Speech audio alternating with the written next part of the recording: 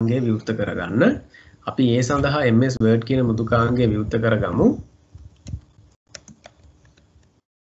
මෙන්න බලන්න MS Word කියලා අපි මෙතන ටයිප් කරාම මෙන්න මේ මෘදුකාංගය අපිට ලබා දෙනවා ප්‍රධාන මෙනුවේ මම මේක මවුස් එකේ වම් බොත්තම ක්ලික් කරලා මම ගන්නවා.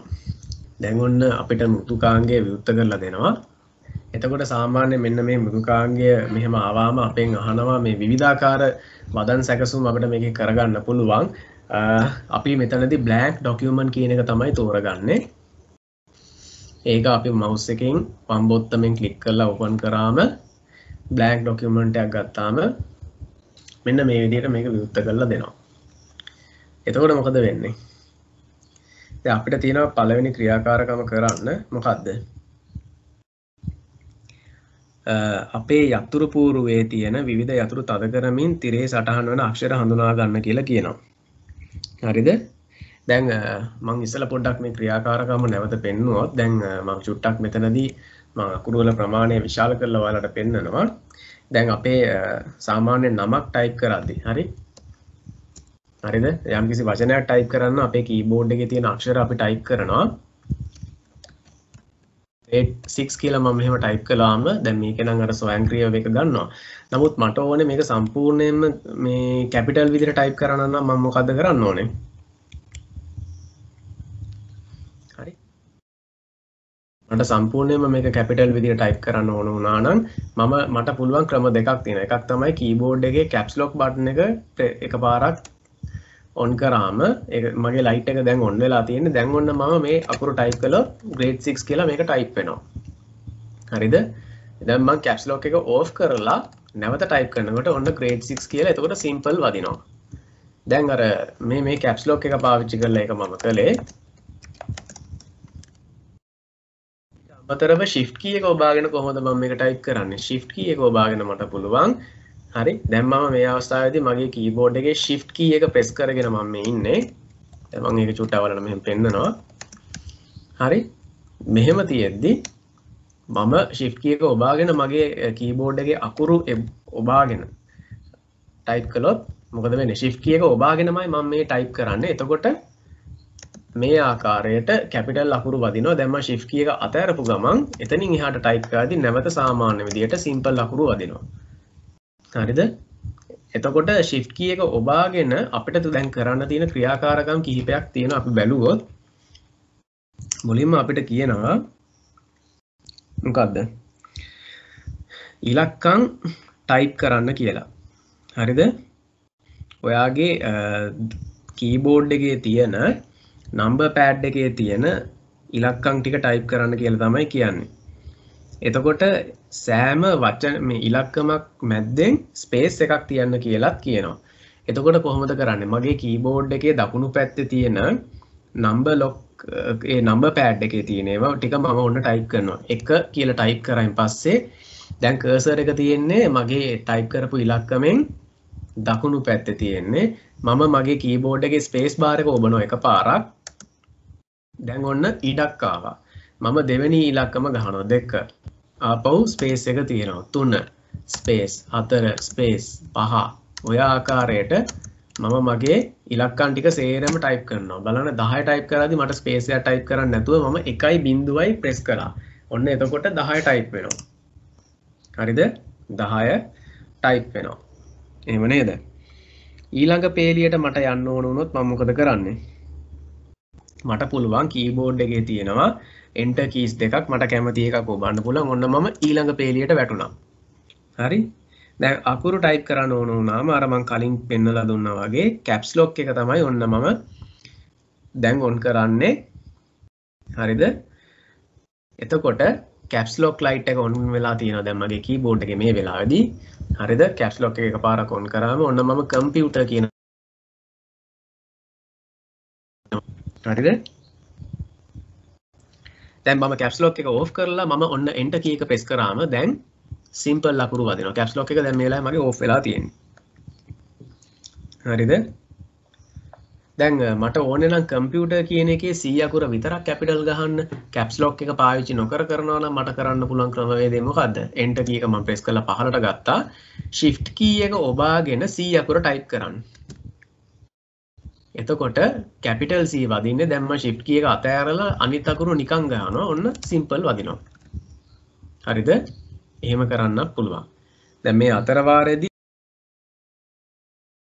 යන shift key එක ඔබාගෙන අපේ අර ඉහළින් තියෙන අක්ෂර කොහොමද type කරන්න කියන සංකේත.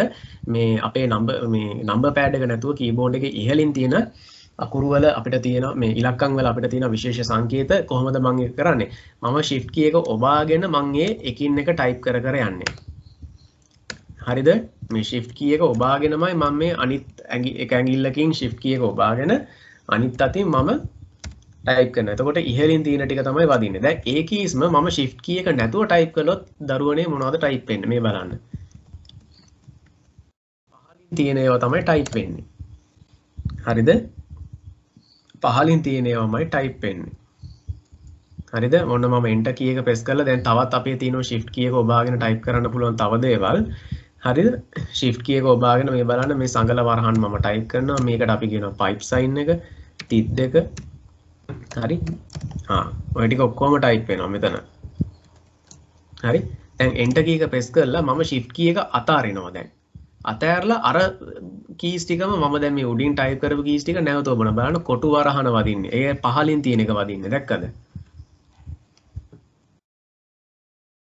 ඔන්න ඔය විදිහට තමයි ඕක වෙන්නේ. දැන් කොහොමද අපි වදන් සැකසුම් මෘදුකාංගයක දේවල් මේවා අපි ගබඩා කරන්නේ? එතනත් අර විදිහට තමයි. මෙතන තියෙනවා ෆයිල් කියලා එකක්. මෙතනත් අපිට තියෙනවා save කියලා. එතකොට මෙහෙම ආවාම අපිට තියෙනවා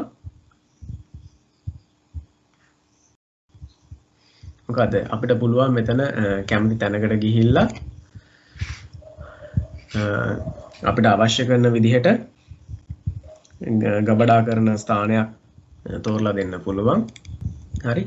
එතකොට මට කැමති නමකින් මම මේක සේව් කරනවා. මම නම්බර්ස් කියලා මම මේක සේව් කරනවා. ෆයිල් නේම් එක දෙනවා. ඔන්න සේව් බටන් එක ක්ලික් කරපු ගමන් එයා සේව් කරගන්නවා. ඔන්න නම්බර්ස් කියලා මෙතන තියෙනවා. දැන් හරි. ඔන්න මම මේක ක්ලෝස් කරනවා දැන්.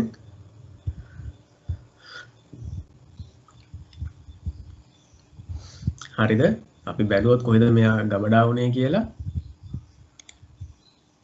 ඔන්න මේ තියෙන්නේ නම්බර්ස් කියන එක මෙතන සේව් වෙලා තියෙනවා. හරිද? ඒ තමයි අපිට ඊළඟ ඒ නියමිත වෙලා තිබිච්ච ක්‍රියාකාරකම.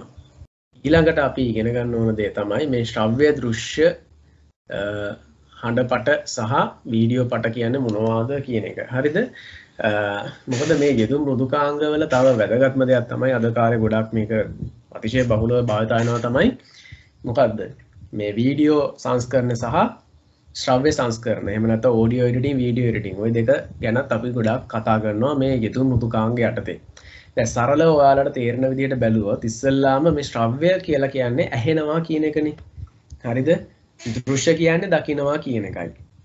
හැබැයි දැන් ඔයාට ගොඩක් වෙලාවට මේ හඬ පට ඕඩියෝ කියලා කියන්නේ අපේ කනට ඇහෙන දේවල් පමණයි. එතකොට ඒකේ තියෙන හඬක් විතරයි. එහෙමනම් අපි දැන් මේ පරිගණක ආශ්‍රිතව හඬ පට කියලා කියන්නේ පරිගණක ආශ්‍රිතව යම්කිසි ආකාරයකින් පටිගත කිරීමට ලක් වෙලා තියෙන දේවල් අපි කියනවා ඕඩියෝ ෆයිල් කියලා. එහෙම නැත්නම් ශ්‍රව්‍ය පට. හරිද? දෘශ්‍ය කියලා ගත්තොත් මෙතන මේ මේ වීඩියෝස් ගැන අපි කතා කරනවා. වීඩියෝ එකේ හඬයි රූපයි. හරිද? ඊට අමතරව ශබ්දෙත් ඇහෙනවා. කියන්නේ හඬ ඕඩියෝ වල හඬ විතරනේ. හැබැයි වීඩියෝ එකේ ශබ්දයයි මොකද්ද? ශබ්දයයි රූපයයි දෙකම තියෙනවා. එහෙමනම් ඔය රූපෝහනි වැඩසටහන් ගත්තොත් අපිට මොකද්ද තියෙන්නේ? රූපයක් පේනවා හඬත් ඇහෙනවා. ඒ එතකොට අපි ඒවට එතකොට ඒ ආකාරයෙන් අපි පටිගත කරගත්තේ ඒවට අපි කියනවා වීඩියෝ ෆයිල්ස් කියලා. එහෙම නැත්නම් වීඩියෝ පට කියලා කියනවා. හරිද? එතකොට ඊළඟට දැන් මේව සංස්කරණය කරන්න අපිට තියෙනවා විවිධ මෘදුකාංග. දැන් මේ ඔඩියෝ සංස්කරණය කරන්න එහෙම නැත්නම් ශ්‍රව්‍ය පට සංස්කරණය කිරීම සඳහා තියෙන software අපි හඳුන්වනවා යෙදුම් මෘදුකාංග අපි හඳුන්වනවා audio editing software කියලා. හරිද? එතකොට ඒවට උදාහරණ හැටියට Audacity කියලා එකක් අපිට තියෙනවා. ඊළඟට Adobe Audition කියලා එකක් තියෙනවා. ගොඩක් අද කාලේ ජනප්‍රියයි ඉතින් මේ Adobe Audition කියන ඒවා නම් ඇත්තටම මිලදී ගැනීම කරලා ගන්න ඕනේ. Audacity කියන එක නම් නොමිලේ පාවිච්චි කරන්න පුළුවන් එකක්. ඊළඟට වීඩියෝ එඩිට් කරන්න යොදා ගන්න තියෙන්නේ සොෆ්ටයාස්වලට අහමනත යෙතුම් මෘදුකාංගලට අපි කියන වීඩියෝඩින් සොෆ්ටයා කියලා. මෙතනදී ඇඩෝබේ ප්‍රීමිය ප්‍රෝ සහ ඕපන් ෂොට් හරිද? ඕපන් ෂොට් කියලා අපට මෘදුකාංග ඇතින මේ දෙකෙම අපි යොදාගන්න මොනාටද සාමාන්‍යයෙන් වීඩියෝ එඩිටිං කරන්න අපි මේක පාවිච්චි කරන්නේ. ඉතිං ඇඩෝබේ ප්‍රීමිය ප්‍රෝ කියන එක ගොඩා ගෘතිය මට්ටමය යොදාගන්න එක ඉති ඒක මිලදී ගැනීමක් කරන්න ඕන දෙයක්. හැබැ ඕපන් ෂොට් එක හෙමන එක නොමිලි ලබාගන්න තියෙන සොෆ්ටය එක හරිද? අපි මේ ක්‍රියාකාරකම බැලුවත් ශ්‍රව්‍ය පටයක් කියන්න මොකක්ද කියලා. හරිද? ශ්‍රව්‍ය පටයක් කියලා හඳුන්වන්නේ හඬ පමණක් සහිත පරිගණක ඇසුරින් පටිගත කරන ලද ගොුණු ශ්‍රව්‍ය පට ලෙස හැඳින්වේ. උදාහරණයක් ඇයට ගුවන්විදිලි වැඩසටාන හරිද? හරිද? ඊට අමතරව තවවාලට ගන්න පුළුවන් හඬ පටයක් විදියට මොනවද? දැන් ගොඩක් අපිට පුළුවන්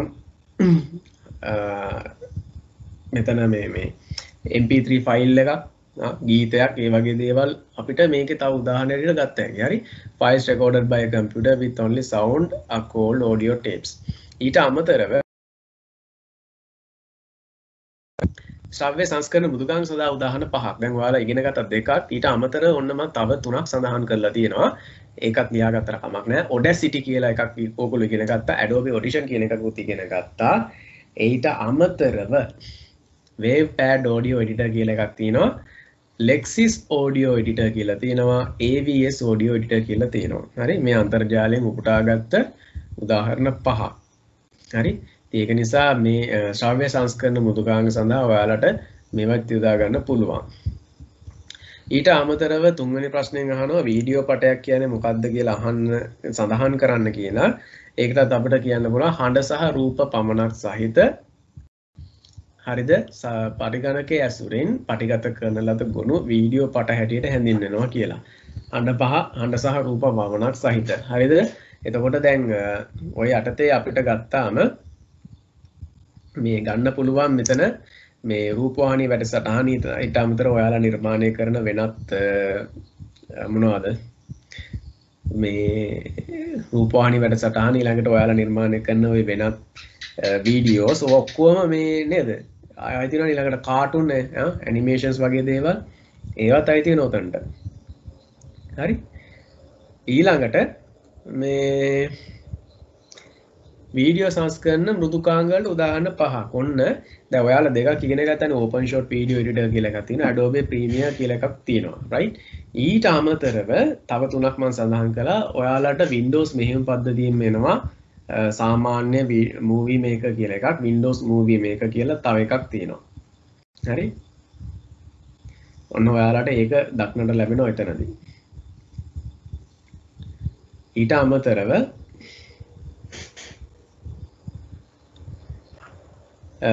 සයිබලිංක් පව ඩිරෙක්ට කියල දින සාමානය ගොඩක් ෘතිය මට්ටමේ අය තමයි ඒක පාවිච්චි කරන්නේ. ෘතිය මට්ටමේ අයට මේක යුදාගන්න පුළුවන්. ඒවයිති මුදල් ගෙවල ගන්න ඕන එක. ෆිල්මෝරා කියලා තව එකක් තියෙනවා. මුදුකාංගයක් ඒකත් ඒ වගේම දෙයක්. හරි. ද ඊළඟට තව හොඳ ප්‍රශ්නයක් අපෙන් අහලා තියෙන ක්‍රියාකාරකම හතරේ අට. දැන් මේකේ ඇතර මම පළවෙනි ප්‍රශ්නය පමණයි මෙතන සාකච්ඡා කරන්නේ. හරි? අනිත් ඒවා අපිට පන්ති කාමරේ ප්‍රායෝගිකව කරන්න තියෙන දේවල් නිසා. මෙතන තියෙනවා ශ්‍රව්‍ය පට සහ වීඩියෝ පට පටිගත කිරීමේදී සහ සංස්කරණය කිරීමේදී අනුගමනය කළ යුතු ආචාර ධර්ම පහක් ගැන. දැන් මෙහෙමයි. සාමාන්‍ය ඕඩියෝ එඩිට් වීඩියෝ එඩිට් ඒවා කරනකොට අපි පොඩ්ඩක් කල්පනාවෙන් වැඩ කරන්න ඕන දෙයක්. හරිද? මොනවද ඒ වෙන්න දේවල්? හොඳයි. මෙන්න මෙහෙම දෙයක් තියෙනවා. වෙනත් අයගේ හඬ සහ රූප පටිගත කරනකොට ඒ පිළිබඳව ඒ කෙනාගගෙන් අවසරයක් ලබා ගත යුතුයි කියලා කියනවා. හරිද? කාගහැරි නමක් ඒ වගේ දෙයක් මෙන්ෂන් කරනවා නම් අපි ඒක එහෙම කරනවා කරන්න ඕනේ කියලා අපි අදහස් කරනවා හරිද ඊළඟට වෙනත් අයගේ හඬසා රූප සහිත පටිගත කිරීම සංස්කරණය කරන විට ඒගොල්ලොන්ව අපහසුතාවයට පත් නොවන විදිහට ඒවා කරන්න ඕනේ. ඔව්. අද කාලන හැබැයි මේක ගොඩාක් නරක විදිහට සිද්ධ වෙන දෙයක්. හරිද? ඉතාලම නරක විදිහට මේක අද කාලේ සිද්ධ වෙනවා. ගොඩක්ම මේ අනුන්ගේ හඬවල් පටිගත කරලා නේද? ටිකක් සමාජ මාධ්‍ය ඔස්සේ අනවශ්‍යාකාරයෙන් බෙදාහැරීමකුත් කරනවාගේම ඒවා විකෘති කරලා වෙන වෙන දේවල් කරලා. හරි? එකන්න උදාහනකට ලස්සන නර්තනයක් එහෙම ගත්තොත් අපිට ඒවට වෙන වෙන සෞන්ටරක් දාලා එක නියඟ අපහසාත්මක